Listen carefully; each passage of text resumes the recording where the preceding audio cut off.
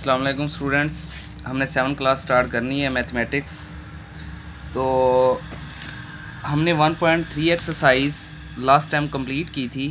आज हमने 1.4 exercise start करनी है.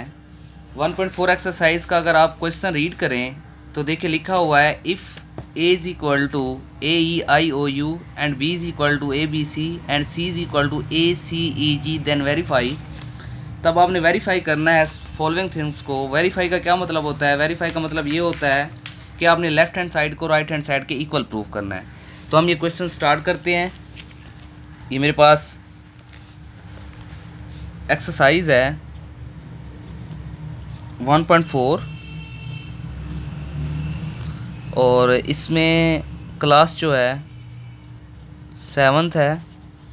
क्वेश्चन नंबर वन है। तो इसमें देखें तो आपको एक सेट दिया गया है.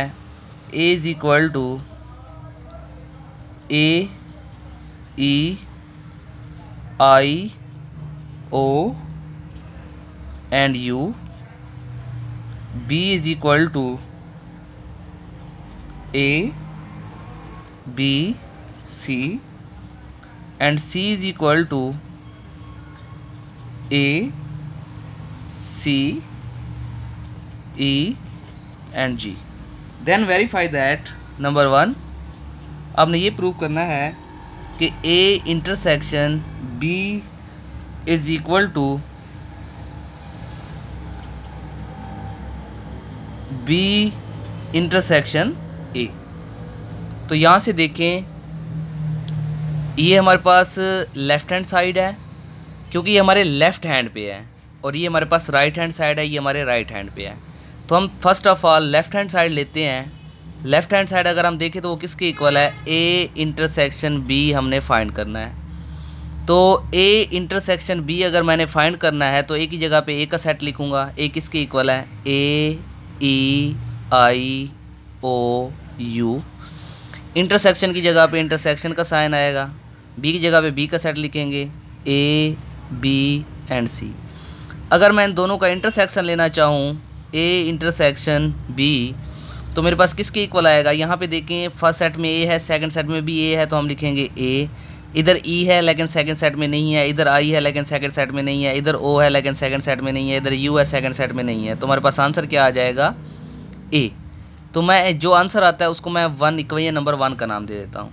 अब मैं सोल्व करता हूँ right hand side right hand side पे देखें तो आपको दिया गया है बी इंटरसेक्शन ए आपने फाइंड करना है। तो बी इंटरसेक्शन ए मैं फाइंड करने के लिए बी की जगह पे बी का सेट लिखता हूँ। बी का सेट किसके इक्वल है? ए बी सी इंटरसेक्शन की जगह पे इंटरसेक्शन का साइन ए की जगह पे ए का set A E I O you अब मैं फ़र्स्ट सेट में देखता हूँ कौन से एलिमेंट्स हैं जो सेकंड सेट में मौजूद है। फ़र्स्ट सेट में ए है सेकंड सेट में बी है तो मैंने ए लिख दिया। फ़र्स्ट सेट में बी है सेकंड में नहीं है थर्ड सेट में सी सॉरी फ़र्स्ट सेट के थर्ड एलिमेंट में सी है, लेकिन सेकंड सेट में नहीं है तो ए हमारा आंसर है। तो बी इंटरसेक्शन ए इसको मैं टू का नाम दे देता हूँ। अगर मैं वन और टू को कंपेयर करूँ तो ए इंटरसेक्शन बी किसके इक्वल है? ए के, और बी इंटरसेक्शन सी किसके इक्वल है? ए के। दोनों क्वेश्चन दोनों इक्वेशंस की राइट हैंड साइड इक्वल हैं। जब दो क्वेश्चन दोनों इक्वेशंस की राइट हैंड साइड इक्वल हो तो इसका मतलब है उनकी लेफ़्ट हैंड साइड भी इक्वल होती है।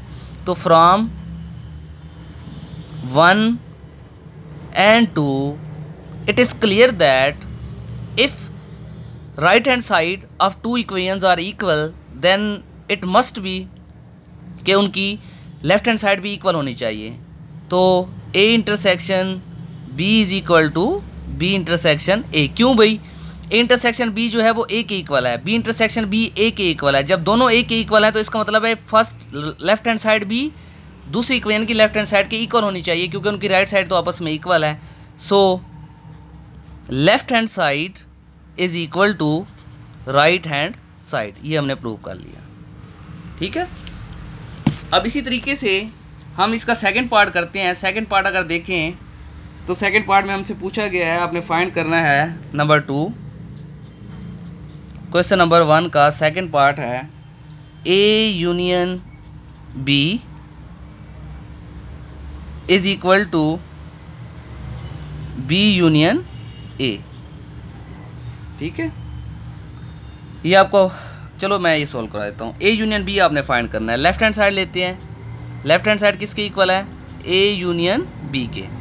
तो यहाँ से हमारे पास ए सेट हमें दिया गया है। तो ए की जगह पे हम ए यूनियन बी हम फाइंड करते हैं। एक जगह पे ए का सेट आ जाएगा। ए E I O you union की जगह पे यूनियन का साइन आएगा। बी की जगह पे बी का सेट बी का सेट किसके इक्वल है? ए बी सी हमने सीखा हुआ है कि जब हम दो सेट्स का यूनियन लेते हैं तो हम सिंपल नंबर्स को अरेंज करके लिखते हैं। ठीक है? जो नंबर दो दफ़ा आता है, उसको भी एक दफ़ा लिखते हैं। ए है तो ए आ गया। इधर देखें बी है तो ये बी आ गया। सी है तो ये सी आ गया। E I O U. ये हमारे पास आंसर है। इसी तरीके से हमने सिंपल नंबर्स को अरेंज किया है। हमने काफ़ी क्वेश्चंस किए हैं यूनियन के। अब आपको आ जाना चाहिए। ठीक है, मैं इसको इक्वे नंबर वन का नाम दे देता हूँ। अब मैं फाइंड करता हूँ right hand side right hand side पे देखें तो क्या यह है? बी यूनियन ए जो है मैंने फाइंड करना है। तो बी यूनियन ए फाइंड करने के लिए मैं बी की जगह पे बी का सेट लिखता हूँ। बी का सेट किसके इक्वल है? A B C A B C union की जगह पे यूनियन और ए की जगह पे ए का set A E I O you तो अगर मैं इसका आंसर लिखना चाहूँ तो देखें ए इधर भी है, इधर भी तो ये ए आ गया नेक्स्ट ये बी आ गया, ये सी आ गया. अब ई आई ओ यू इसको मैं टू का नाम दे देता हूँ.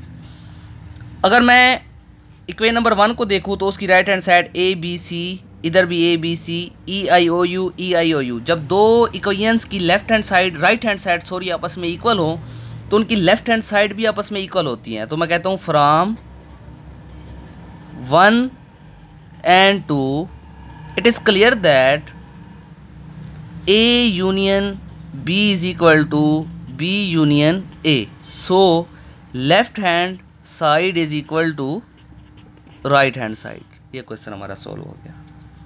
ठीक है? अब इसी तरीके से थर्ड पार्ट है फोर्थ है फिफ्थ है सिक्स ये टोटल पार्ट्स जो हैं, बिल्कुल ऐसे ही हैं, ये आपका होमवर्क है। ये आपने खुद करने हैं। तो हमारा आज का लेक्चर कंप्लीट हुआ। कल हम, इंशाल्लाह नेक्स्ट स्टार्ट करेंगे question number two one point four exercise का. थैंक यू सो मच अल्लाह हाफिज़